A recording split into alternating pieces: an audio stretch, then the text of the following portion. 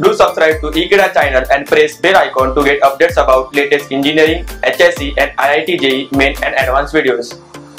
Hello friends इस video में हम लोग क्वाड्रेटिक फ़ंक्शन के बारे में पढ़े पढ़ेंगे। क्वाड्रेटिक फ़ंक्शन में कैसे वो फ़ंक्शन बिहेव करता है क्या उसका शेप होता है कब मैक्सिमम वैल्यू होती है कब मिनिमम वैल्यू होती है। तो उसी से रिलेटेड इस वीडियो में हम लोग पढ़ेंगे। तो आइए देखते हैं कि कैसे हम क्वाड्रेटिक फ़ंक्शन को हैंडल करते हैं। तो क्वाड्रेटिक फ़ंक्शन स्टार्ट करते हैं। Let f x equals to a x square plus b x plus c where a b c belongs to real number and a not equals to 0 this is the most important condition a can not be zero because a अगर ज़ीरो हो गया तो आपको f x equal to b x plus c मिलेगा, जो एक linear equation linear function है, ना कि एक क्वाड्रेटिक फ़ंक्शन है। अब हम इस क्वाड्रेटिक फ़ंक्शन को एक परफेक्ट स्क्वायर के फॉर्म में लिखेंगे और फिर देखेंगे कि ये क्या सेप बनाता है, ये कैसे बिहेव करता है। तो आइए देखते हैं okay so f x equal to a x square plus b x plus c अब ए मैं यहाँ से कॉमन ले रहा हूँ। तो x square plus b upon a x plus c upon a अच्छा मोस्ट इंपॉर्टेंट बात ए क्यू कॉमन ले सकते हैं? क्यों? क्योंकि ए ज़ीरो नहीं है। अगर ए ज़ीरो होता तो हम डिवाइड नहीं कर सकते। तो यहाँ से भी आप समझ सकते हो कि ए की वैल्यू ज़ीरो नहीं हो सकती।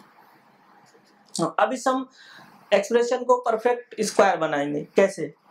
ए एक्स स्क्वायर प्लस यहाँ पे मैं टू से मल्टीप्लाई कर रहा हूँ और टू से डिवाइड कर रहा हूँ। ओके ये टू टू कैंसिल हो जाए, वापस हमें बी अपान एक्स मिलेगा। प्लस यहाँ पे मैं b square upon four a square add कर रहा हूँ and b square upon four a square minus कर रहा हूँ। Plus c upon a already given है। ओके नाउ ये क्वांटिटी क्या हो गई आपकी? ये क्वांटिटी आपकी हो गई x square plus b upon two a का whole square. So a x plus b upon two a whole square. And ये क्वांटिटी क्या है आपका? Minus b square upon four a square plus c upon a that is let's suppose f x तो हम इसको क्या? Y मान लेते हैं। Y y अब ये इसमें मल्टीप्लाई करेंगे हैं और सारी क्वांटिटीज हम लेफ़्ट हैंड साइड पे लेके आएँगे। So y equals to a x plus b upon two a square minus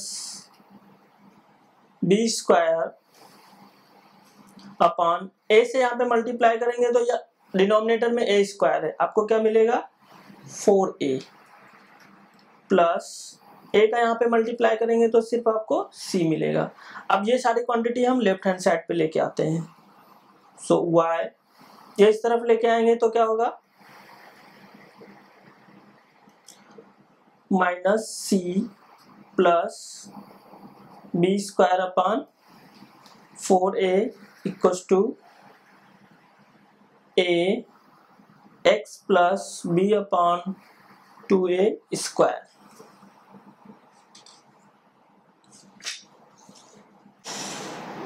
तो y minus c plus b square upon four a equals to a x plus b upon two a square again यहाँ पे multiply करते हैं, y minus four a c plus b square upon four a equals to a x plus b upon two a whole square और y plus b square minus four a c upon four a equals to a x plus b upon two a square अब b square minus four a c को हमने क्या discriminant माना था? तो ये value D हो गई। Y plus d upon four a equals to a x plus b upon two a square okay? अब आप यहाँ पे देख रहे हैं, ये हमें एक क्वेश्चन मिला एक्स ऑन वाई में। तो आपने कोनिक सेक्शन में पढ़ा होगा कि ये एक पैराबोला का इक्वेशन लिखा है। Parabola symmetric with y axis because x का इवन पावर है। और इसका एक्सिस क्या होगा? एक्सिस होगा parallel to y axis and vertex क्या होगा? Vertex minus b upon two a comma minus d upon four a तो यहाँ पे मैं लिख देता हूँ। Standard equation of parabola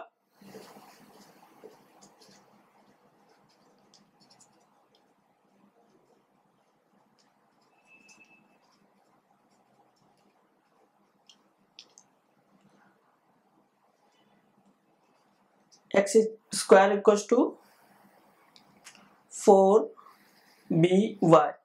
ये क्या होता है? ये पैराबोला होता है सिमेट्रिक अबाउट वाई एक्सिस होता है एंड इसका वर्टेक्स कहाँ पे होता है? ज़ीरो ज़ीरो पे होता है, और वाई एक्सिस इसका y axis of this parabola is the axis of parabola तो जब इसको हम कंपेयर करेंगे तो यहाँ पे आपको मिलेगा दिस इक्वेशन से आपको मिलेगा axis of this parabola is parallel to y axis and vertex क्या होगा आपका? वर्टेक्स ए होगा आपका minus b upon two a comma minus d upon four a. Minus b upon two a comma minus d upon four a. ये इस parabola का vertex होगा। अब पैराबोला अपवर्ड खुलेगा या डाउनवर्ड खुलेगा, वो डिपेंड करता है वैल्यू ए पे। अगर ए पॉजिटिव है तो यहाँ पे मैं लिख देता हूँ if a greater than zero then parabola open upward and if a negative है then parabola open downward okay okay. तो यहाँ से हमने बना इक्वेशन किसी फ़ंक्शन को लिखा और वहाँ से हमें पता चला कि वो एक पैराबोला का इक्वेशन है। फिर हमने स्टैंडर्ड इक्वेशन से कंपेयर किया, उसका एक्सिस एंड वर्टेक्स निकाला। अब हम इस पैराबोला से ही कंपेयर करके किसी भी क्वाड्रेटिक फ़ंक्शन का मैक्सिमम वैल्यू मिनिमम वैल्यू या रूट रखेगा या नहीं रखेगा, वो चीज़ें हम कंटिन्यू करेंगे। तो अब हम यहाँ पे जो कॉन्स्टेंट्स हैं ए बी सी उस पर हम डिफरेंट डिफरेंट कंडीशन लगाएँगे और हम देखेंगे कि हमारा जो पैराबोला क्वेश्चन ऑफ़ पैराबोला मिला है, वो कैसे बिहेव करता है। तो first case if a greater than zero and d less than zero तो इस केस में क्या होगा? हमारा पैराबोला अपवर्ड खुलेगा and d less than zero है। जैसा कि आपको पता है कि कोई भी डिस्क्रिमिनेंट जब लेस देन ज़ीरो होता है तो हमारा क्वाड्रेटिक इक्वेशन इमेजिनरी रूट रखता है। इमेजिनरी रूट रखने का मतलब है वो हमारा इक्वेशन कभी भी एक्स एक्सिस को कट नहीं करेगा। ओके सो so, इस कंडीशन में हमारा पैराबोला कुछ ऐसा दिखेगा। ये क्या होगा? वर्टेक्स होगा। वर्टेक्स ए सो इसका कोऑर्डिनेट क्या होगा? Minus b upon two a comma minus d upon four a okay so इस केस में क्या होगा? हमारा एफ़ एक्स क्या है? ऑलवेज पॉजिटिव ओके क्योंकि एफ़ एक्स की वैल्यू ये सारी वैल्यूज़ हैं और ये एक्स एक्सिस के वाई एक्सिस के ऊपर हैं। सो so, ये एफ़ एक्स हमारा पॉजिटिव होगा। जब ए ग्रेटर देन ज़ीरो होगा और डी लेस देन ज़ीरो होगा। अब हम इसकी मिनिमम वैल्यू निकालते हैं। Minimum value of f x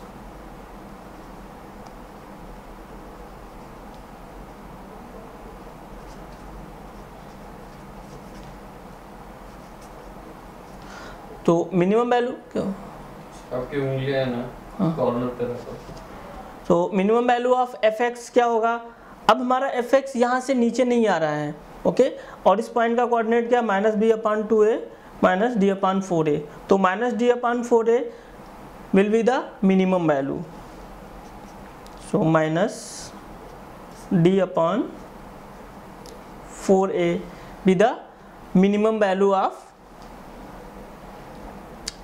this parabolic equation or we can say this quadratic function okay again second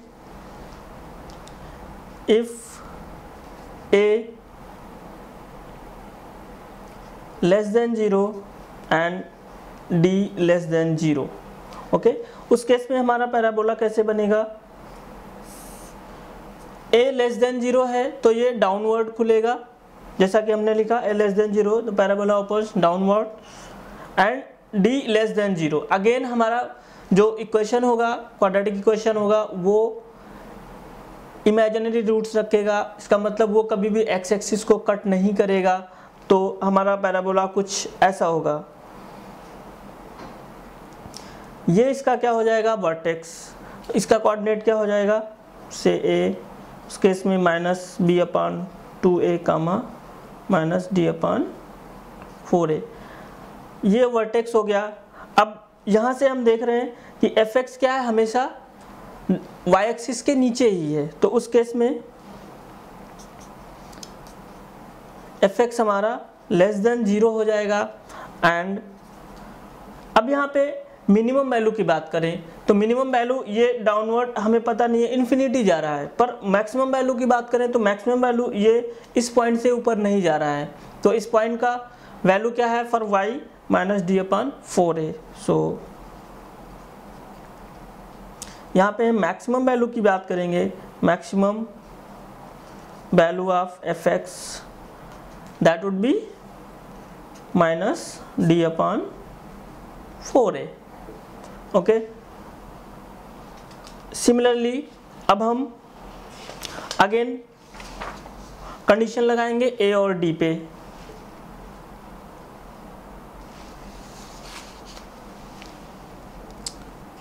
Third one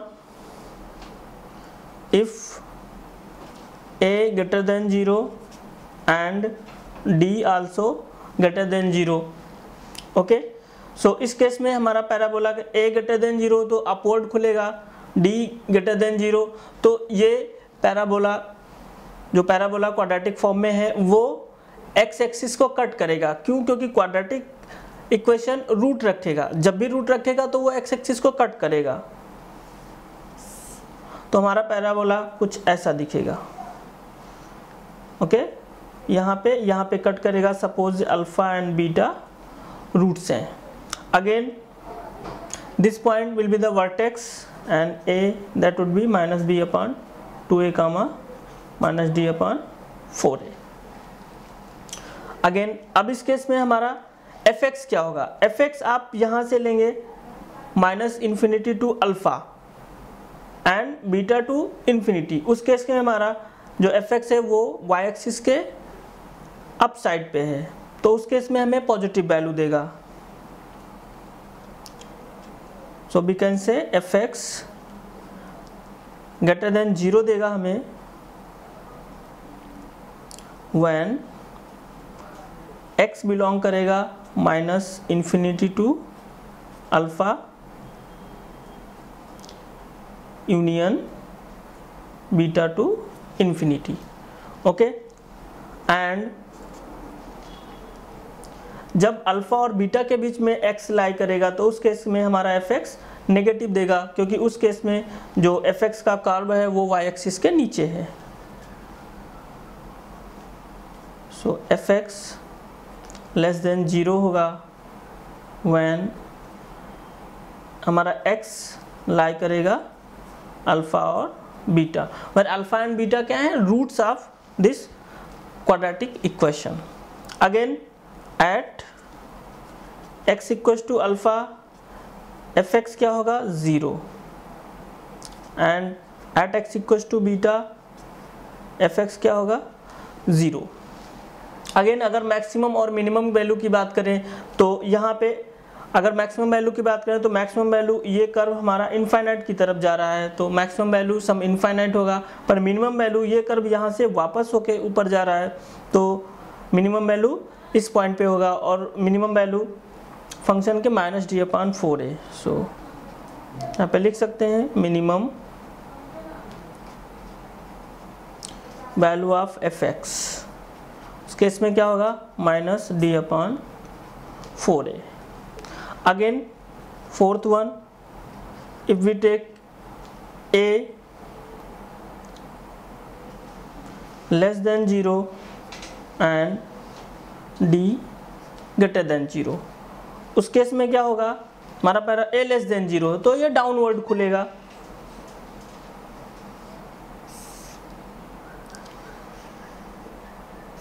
Again, let alpha and beta roots. So, alpha and beta. ये vertex हो जाएगा। इस vertex का coordinate क्या होगा? Minus B upon two A comma minus D upon four A इस case में हमारा एफ़ एक्स क्या होगा? एफ़ एक्स पॉजिटिव कहाँ पे होगा? जब एक्स अल्फ़ा और बीटा के बीच में लाई करेगा। तो F X greater than zero होगा। वैन एक्स लाई करेगा बीटा और अल्फ़ा के बीच में। एंड एफ़ एक्स हमारा लेस देन ज़ीरो होगा। जब एक्स लाई करेगा minus infinity to alpha and beta to infinity when x belongs to minus infinity to alpha union beta to infinity. Okay? At x equals to alpha and beta F X हमें क्या देगा? Zero अब इसकी maximum या minimum value की बात करें तो जैसा कि हम देख रहे हैं मिनिमम मिनिमम वैल्यू ये माइनस इन्फिनिटी की तरफ़ जा रहा है तो मिनिमम वैल्यू हम यहाँ पे कुछ कह नहीं सकते।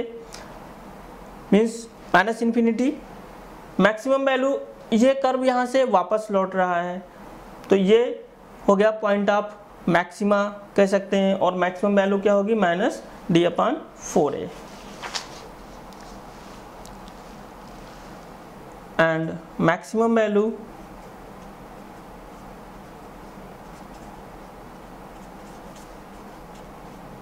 of F X equals to minus D upon four A तो जैसा कि आपने देखा कि हमने एक क्वाड्रेटिक फ़ंक्शन लिया क्वाड्रेटिक फ़ंक्शन को एक परफेक्ट स्क्वायर बनाया।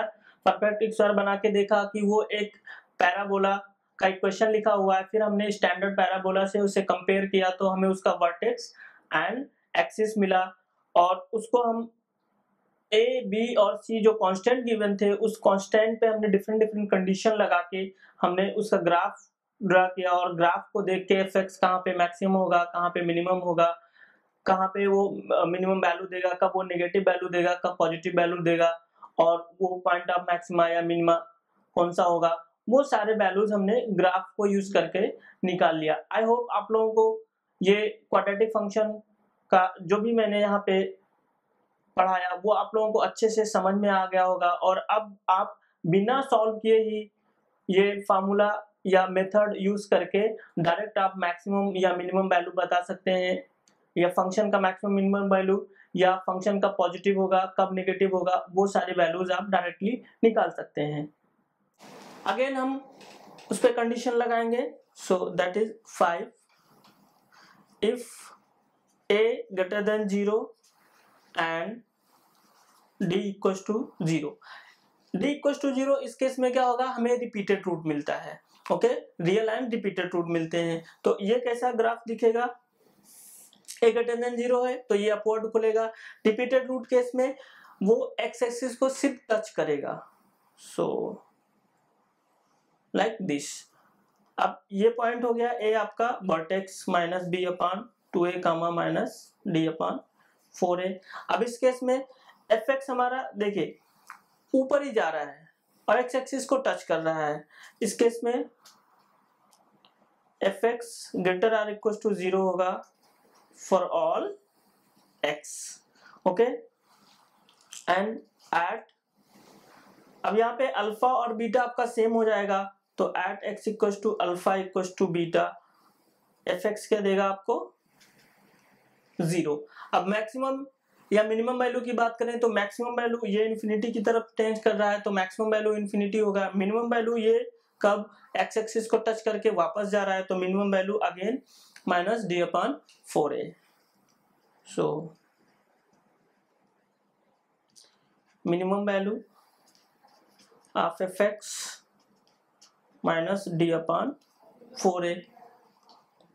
Okay, again condition लेंगे 6 if a less than 0 and d equal to zero उस केस में क्या होगा? D equal to zero again हमारा रूट रिपीटेड होगा and A less than zero है तो हमारा पैराबोला जो कर्व होगा वो डाउनवर्ड ओपन होगा। सो लाइक दिस अगेन ये एक्स एक्सिस को टच करेगा। क्यों? क्योंकि यहाँ पे रिपीटेड रूट हो रहा है। अल्फ़ा और बीटा सेम आएगा। इसका vertex minus B upon two A minus D upon four A vertex हो गया। अगेन यहाँ पे एफ़ एक्स क्या होगा? Less or equal to zero होगा। For all value of X क्यों? क्योंकि हमारा कर्व वाई एक्सिस के ऊपर नहीं जा रहा है। एक्स एक्सिस के ऊपर नहीं जा रहा है सिर्फ़ एक्स एक्सिस को टच कर रहा है okay so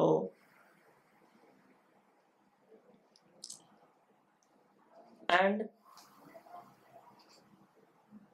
at X equal to alpha equal to beta ये हमें क्या देगा? एफ़ एक्स ज़ीरो देगा। ओके okay, अब मैं मिनिमम या मैक्सिमम वैल्यू की बात करें तो minimum value infinity minus infinity की तरफ़ जा रहा है और maximum value minus D upon four A से ऊपर नहीं जा रहा है। So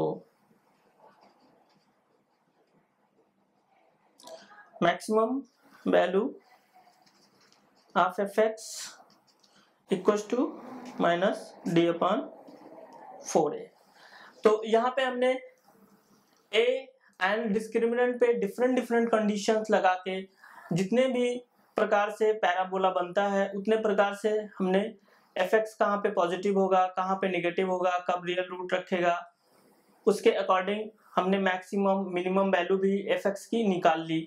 आई होप आप लोगों को ये वीडियो लेक्चर अच्छे से समझ में आ गया होगा और आप लोग इससे रिलेटेड जो भी क्वाड्रेटिक फ़ंक्शन है, बिना सॉल्व किए इन फार्मूलों को यूज़ करके directly maxima minima value and कब एफ़ एक्स पॉजिटिव होगा कब एफ़ एक्स निगेटिव होगा वो सारी वैल्यूज़ बता सकते हैं।